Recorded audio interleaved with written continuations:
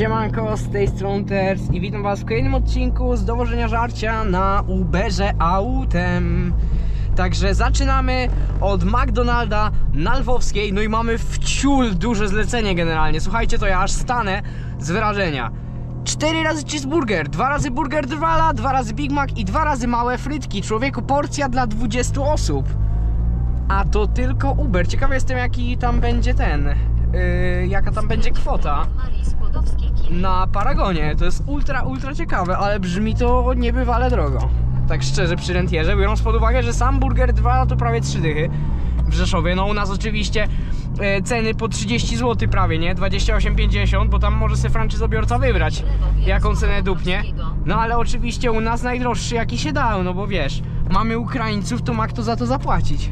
Sorry, że przerywam Ci oglądanie tego wspaniałego materiału, ale generalnie powstał Discord dla widzów, który znajdziesz w opisie tego filmiku. Słuchajcie, generalnie dzisiaj się napysznie męczyłem e, przez 5 godzin. Zmarzłem potężnie, więc teraz sobie tutaj na Ubera Bożego. Czekaj, bo ja nie wiem, czy to jest sytuacja, w której się zatrzymuję. Dobra, to jest sytu... Znaczy, to jest teoretycznie sytuacja, w której się zatrzymujesz. Praktycznie niby nie trzeba, tak patrzę, idąc słowami, którymi kiedyś mnie kierował kamerzysta, bo kamerzysta mi powiedział, że generalnie musisz się zatrzymywać dopiero jak ktoś ci już wejdzie, a nie w momencie, kiedy on jest jeszcze na drugim tym. No ale ja już widziałem, że ten typek się zatrzymuje. Jeszcze da, daj Boże, żeby tu jeszcze policja była nieoznakowana, to człowieku ja bym z torbami poszedł i jeszcze papa prawo jazdy, nie?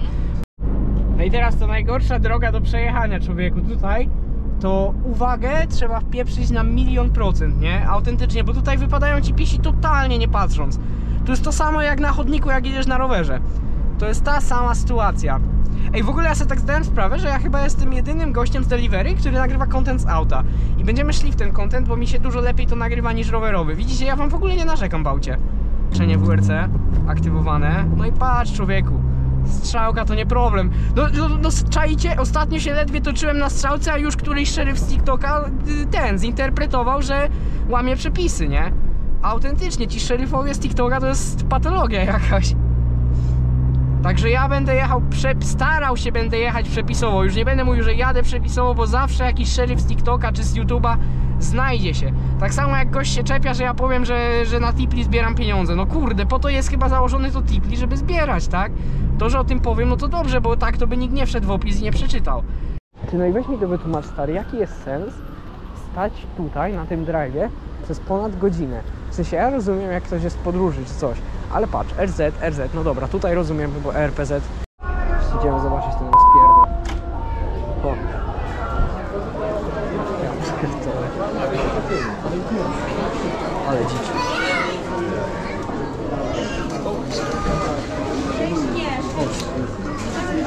Natura Grottgera. Ty, ja bym tu czekał jeszcze z godzinę, jakbym się nie poszedł zapytać do środka.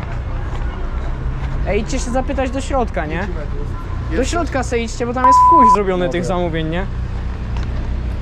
Tylko oni nam to w życiu nie wydadzą, bo mają w dupie. No rel. Ja pierdzielę, ten adres mi pokazuje na parkingu na dworcu. No nie wierzę w to. Jejku, jeszcze będzie trzeba gościa szukać. O dobra, poka- o Jezu, to jest... O, to będzie ład... Ej, taki był dźwięk jakby mi ktoś w auto walnął. Ej, to nie będzie wcale tak trudno jednak znaleźć, dobra. To jest git, widzowie. Ej, ja współczuję pracownikom McDonalda w niedzielę. Oni powinni mieć jakieś ekstra pieniądze, naprawdę. Za to, co robią. W sensie szacun wielki dla ludzi pracujących w McDonaldzie w niedzielę i ogólnie w trakcie drwala. Serio, jak nie macie płacone minimum 25 zł na godzinę, to ja bym się na waszym miejscu zwolnił w pizdu. Ja bym nie wytrzymał człowieku psychicznie. Mając płacone poniżej 25 zł w McDonaldzie. A jeśli dobrze się orientuję, to w McDonaldzie nie płacą nawet 22 za godzinę. Także to jest współczesne niewolnictwo McDonald's. A jeszcze biorąc pod uwagę, jak niektórzy menadżerzy traktują tam pracowników, to już totalne niewolnictwo. Naprawdę. Albo kolejne zostało za 6 minut i się właśnie zastanawiam, czy to będzie McDonald's na Lwowskiej, czy McDonald's w Galerii Rzeszów. Za 300 metrów skręć w prawo. Szczerze, pewnie nie uwierzycie w to, co powiem, ale patrząc na to, co się dzieje na Lwowskiej, to nie wiem, czy bym nie preferował Galerii Rzeszów. Tylko nie wiem, czy Galeria Rzeszów nie będzie już zamknięta, ponieważ jest niedziela. Em, I ja nie wiem, do której jest szczerze McDonald's w Galerii Rzeszów w niedzielę. Chyba się uda, w końcu przejechałem. Jej! Okej, teraz tylko pokonać to rondo. Fajnie, że to rondo jest takie proste, nie? Ogólnie Rzeczów moim zdaniem jest bardzo prosty, jeśli chodzi o jazdę. W porównaniu z takim Krakowem, człowieku, czy, Zjedź z ronda. czy czymś takim, to Następnie naprawdę Miejsce docelowe będzie po lewej stronie. Rzeszów jest ultra, ultra, ultra, ultra łatwy. Tylko ja się zastanawiam, gdzie ja tu zaparkuję, bo tu jest, widzę, patologia z parkingiem. Bo to jest życie dostawcy. No. No i git, kurde, stoję aż miło. I to będzie wszystko. To wszystko? Tak jest. Proszę bardzo, do widzenia. Następne zamówienie wygląda tak. Burger Drwala, aż mi się perzet zamknął. Burger Drwala, burger Drwala, czyli już dwa, trzy burgery Drwala, cztery burgery Drwala, pięć burgeri, burgerów Drwala. Także będziemy wieźli same Drwale. Kolejne ogromne zamówienie. To jest nieprawdopodobne, jakie ilości jedzenia potrafią ludzie pochłaniać w niedzielę. Ale po prostu jakby im się włączał drugi, drugi żołądek, druga wątroba tę niedzielę. O kurde, mógłby mi drzwi oderwał. Z jednej strony chciałbym być wydupiony do innego maka, aczkolwiek z drugiej boję się, że na powstańców może być jeszcze gorzej, bo jakby wiecie, McDonald's na powstańców, czekajcie, tu sobie jadę w sumie, tak? Nie idzie żaden pierwszy, nie. Ty, bo nie gadaj, że tu jest nakaz. Zawróć? Ja pierdzielę, tu jest ten nakaz, prawo, fuck, spieprzyłem sprawę widzowie. Pojedziemy sobie przez ryneczek i tamtędy sobie stykniemy na Lwowską. Kurde, no jedź, jedź, cokolwiek to za auto jest. Flashback. Ja wam w ogóle nie narzekam w aucie. Ja zupełnie innym człowiekiem jestem w aucie. Elegancko. Słuchajcie widzowie, że typek z Forda Focusa, który podjeżdżał w momencie, kiedy ja jakby tutaj już odbierałem, jest obecnie 12 w kolejce. Ja mu współczuję tego czekania, ale w sumie... Nie. No nie gadaj, że ja sobie nawet na parking nie wjadę przez tą kolejkę. No podjedź tym Fordem, proszę. Tak, wypuść dziewczynę i podjedź. Podjedź, no potem sobie kochacie, pogada się. Ja pierkwaczę. Słuchajcie, no ja generalnie będę musiał wejść do środka. No jestem zmuszony wywrzeć presję na tych pracownikach Maka, mimo że oni już mają ogromną presję. Ale no po prostu, słuchajcie, ja inaczej nie zarobię. No i jedziemy na Podwisłocze, słuchajcie. To wskazuje na dwie możliwości. Albo ten klient jest po prostu głupi i zamawia z innego McDonalda, albo po prostu jest już zamknięte milenium i stawiam, że jest to opcja numer dwa. Ej, a generalnie to z racji tego, że jedziemy teraz na to Podwisłocze, jest bardzo duża szansa, że jako następne wpadnie powstańców, bo jak zauważyłem, to ten blog jest praktycznie, nie wiem, z kilometr, półtora max od powstańców.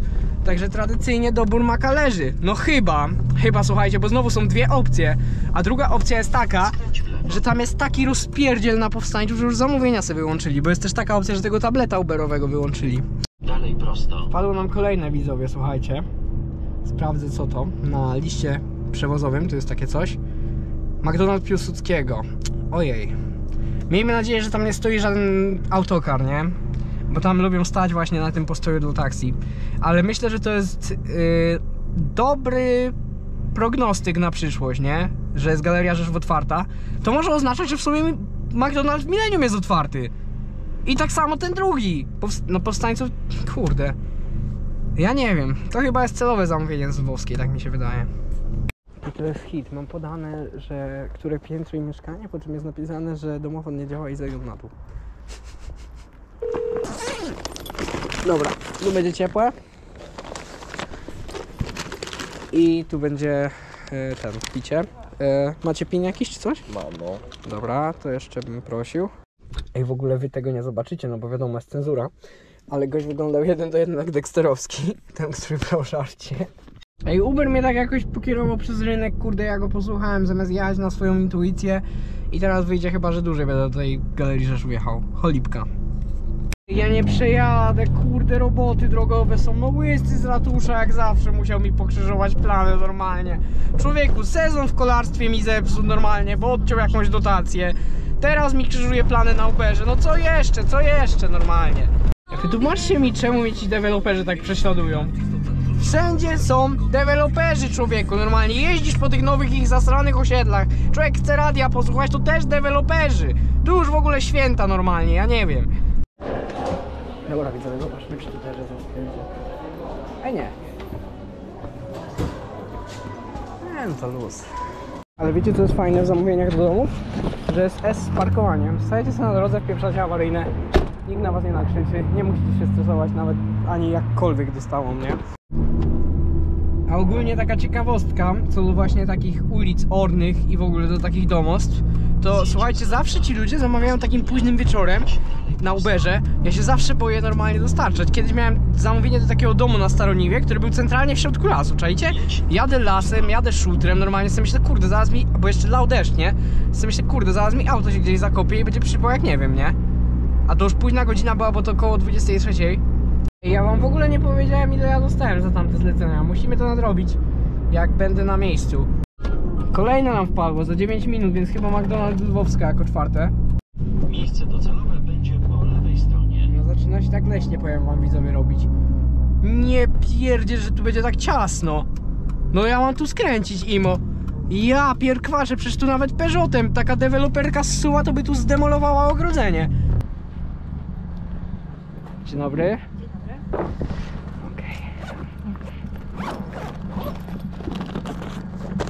Proszę bardzo. Dobranoc.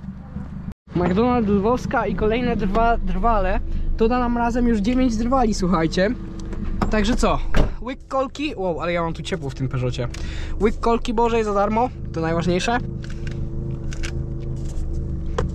Okej, odpalamy radyjko i jedziemy. No i poczekajcie, bo wam obiecałem, że przeczytam wam ile już zarobione mamy. Zarobione mamy już 49 zł człowieku i 24 grosze w półtorej godziny.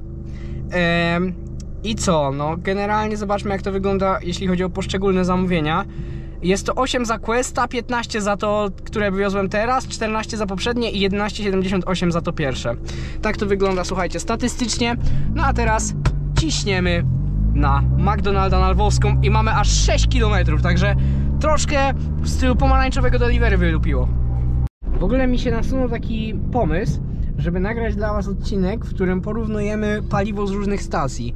Czyli na przykład będzie Orlen, będzie BP, będzie Shell. No i nie wiem, ewentualnie możemy dołożyć Circle K, bo w sumie nigdy tam nie tankowałem w życiu. Taka ciekawostka.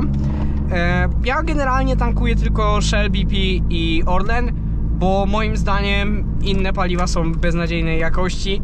Kiedyś tankowałem na przykład na Waldim i na źródełku i po prostu czułem jak to auto zamula, a po Shellu, Orlenie i BP-sie to no zupełnie inaczej pracuje moim zdaniem silnik, tak szczerze. Okej, jesteśmy znowu pod Makiem na Lwowskiej. Trochę szybko nam zajęła ta podróż.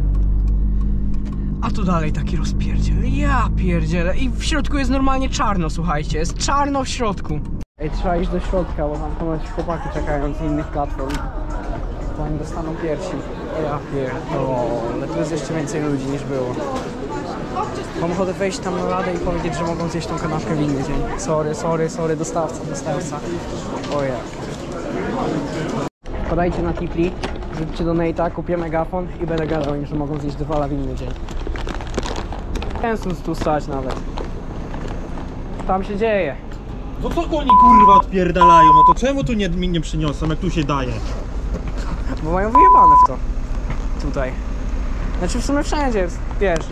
Tam jak jest chyba 6... Ile czekałeś? No nic, widzisz. Dał mi od razu. Ja pierkwaszę, dzisiaj ten Uber to ma jakiś okres też. Stąd na baranówkę człowieku. Ech. 5 kilometrów.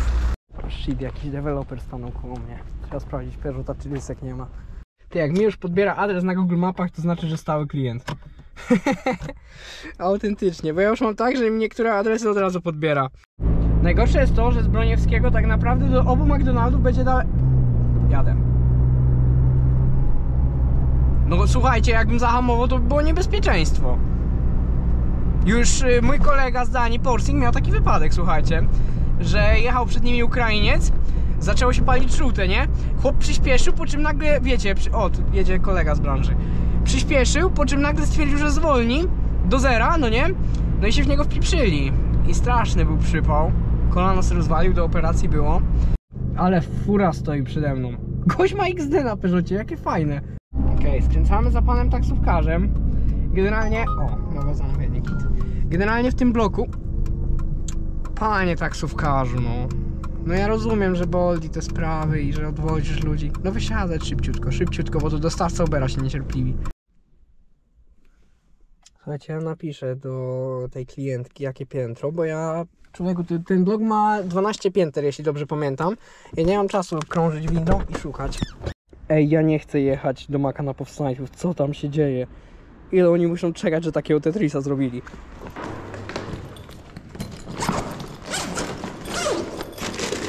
Dobra, będzie ciepłe.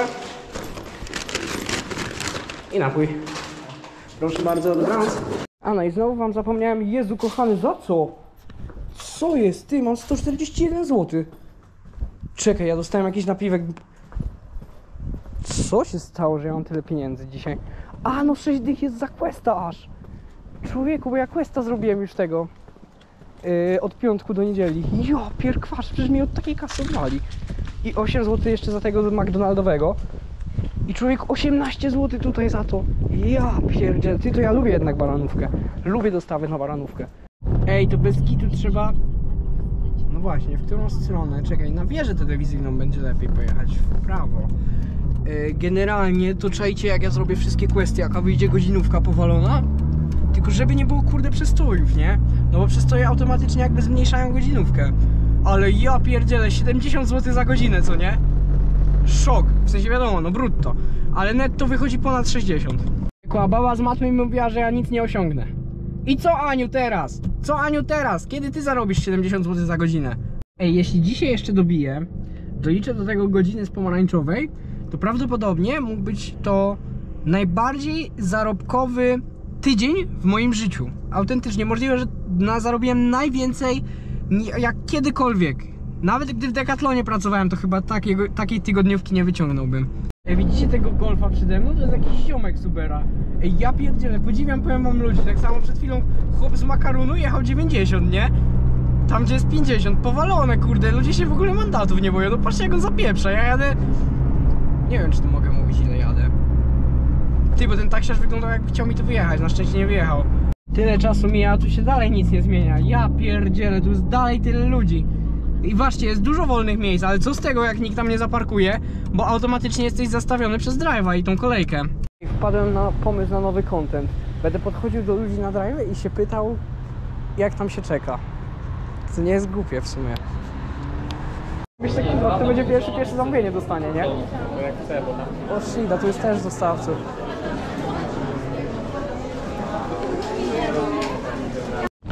Kuźwa, jakie torby wielkie.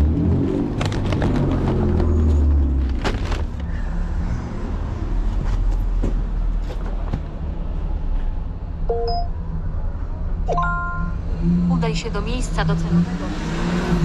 Co? Trzeba iść do środka? No znowu. Stary, tam wszyscy czekają w środku, to nawet nie ma co, ale, ale powiem ci, że tam jest żwawo, no wszyscy. Praktycznie. No, ty też sobie idź jak czekasz, bo tutaj się nie doczekasz na bank. W sumie fajnie, że wpadło na powstańców, bo jestem ciekawy jak to wygląda na żywo. Ty, ale ludzie porcje zamawiają, człowieku mi ręka odpada. Ty weź tym Hyundaiem mi zjedź stąd, co to jest szkoła jazdy. Tego nie uczą zostawiać, to trochę lipa. Zapowiada się niedobrze to zamówienie, bo tu mi pisze, nie mam klucza do szlabanu bramy. Czyli chyba jest jakiś szlaban. Srał pies. Dobra, jesteśmy w osiedlu, moi drodzy. Ale sleeper ten Peugeot z czerwonymi heblami. Jeszcze fajnie brzmiał też, tak jak mój w sumie. Ej, ciekawe czy mój Peugeot jest najgłośniejszym w Rzeszowie. Ale wydaje mi się, że tak, no. Ciężko przebić mojego. Ty, ja co tak daleko stanąłem, a ja zapomniałem, że ten McDonald's jest ciężki na grandę. Ja pierkwaczę. No ale nic. Dobra, e, tu będzie ciepłe. I napoje. Proszę bardzo, dobranoc. No i ostatnie zamówienie na dzisiaj to będzie McDonald's Powstańców i jedziemy po jednego drwala, Mac zestaw i do tego Red Chicker. Także takie zamówienie można by powiedzieć w moim stylu. Jeszcze gdyby to był drwal z kurczakiem, to już w ogóle. No a za to zamówienie, już wam powiem ile dostaliśmy. Dostaliśmy za to jeszcze nic, bo Uber nie wczytał. Zaczął lać widzowie, ale to nie jest istotne. Istotne jest to, jakiego koloru jest twoja kupra. Jezu kochane, jakie to jest śliczne. W sensie tak, na taką to mnie długo nie będzie stać, ale to jest taki, wiecie, drugi Dreamcar. No patrzcie, Cupra chce się zemścić, próbuje wyprzedzić Peugeota WRC, ale kierowca nie domaga, dlatego ja chcę mieć Cuprę. Ja po prostu potrzebuję tej Cupry. Ja dosłownie, ona mi się należy, słuchajcie. Nie wiem jak to inaczej określić. Kurde, wycieraczki skrzypią pasuje wymienić. No dobra, jeśli chodzi o miejsce parkingowe, wygląda to dobrze, bo od razu sobie stanąłem. Ogólnie jakiś ten mak taki bardziej pusty, mniej eksploatowany. Aha, to zajebiście, chłopny kurwa zostawił tą Toyotą. Ale będzie kręcenia teraz. Coś do mnie hej mówił, ale nie poznałem. Więc tak tylko kiwnąłem porozumiewawczo, bo nie, nie miałem też pewności czy do mnie. Kurwa. To typek z Ubera tak stanął. No przechuj. Widzicie ze z torbą wywalone jajca. Ty no on mi nie wyjeżdża, no ochujeje, przysięgam.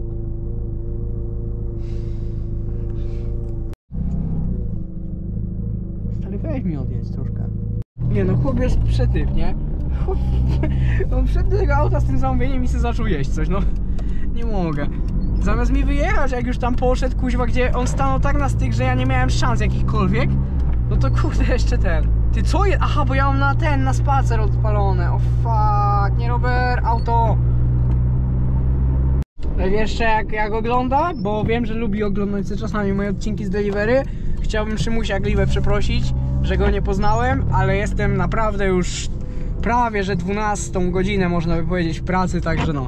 Dobra, staję. Aha, bo jakiś typ idzie. No idź, idź, idź, panie eleganciku. I to będzie całe. Dziękuję bardzo.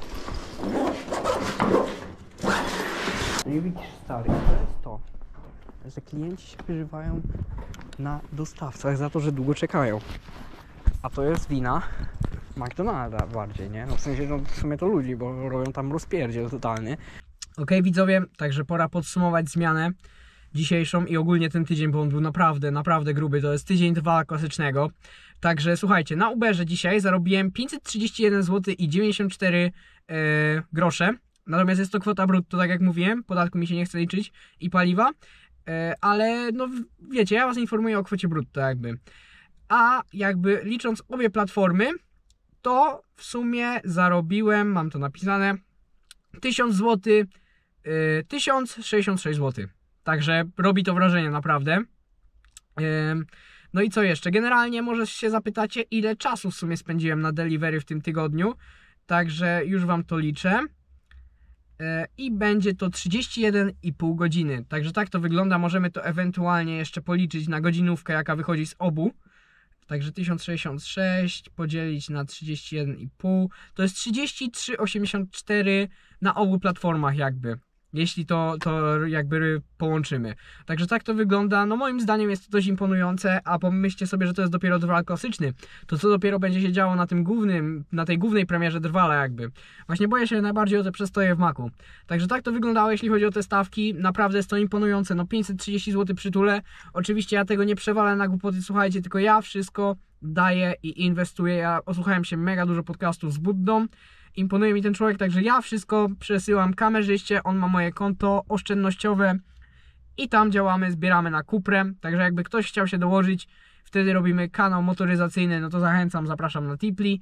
W sensie w sumie na Tipli bardziej zbieram na takie bieżące wydatki, bo ja wszystko co zarobię, to jakby od razu odkładam na auto. Także ja żyję teraz skromnie, ale tylko po to, żeby jakby żyć za kilka miesięcy i jeździć sobie fajnym autkiem, bo nie ukrywam, że no Peugeot się rozpada. To sprzęgło, alternator, jeszcze kilka rzeczy można by wymienić. Także tak to wyglądało, jeśli chodzi o Uberka dzisiaj. No i co? Myślę, że fajny dzień. Nie wiem, czy wam jeszcze powiedziałem, ile w dniu ogólnie zarobiłem. W dniu dnióweczka dzisiejsza 187 zł i 48 groszy w 3,5 godziny, nie? Także możemy to też ewentualnie sobie policzyć. To jest oczywiście kwota brutto. E, I podzielmy to na 3,5. No to 53 zł za godzinę, nie? Imponująca stawka brutto. Myślę, że netto wyjdzie około 45 zł za godzinę. Także też spoko. Także tak to wyglądało. Jeśli chcecie więcej odcinków z Ubera, to zostawcie subika, łapkę w górę i komentarz. A ja Wam dziękuję za oglądnięcie, dotrwanie do końca. No i siemano.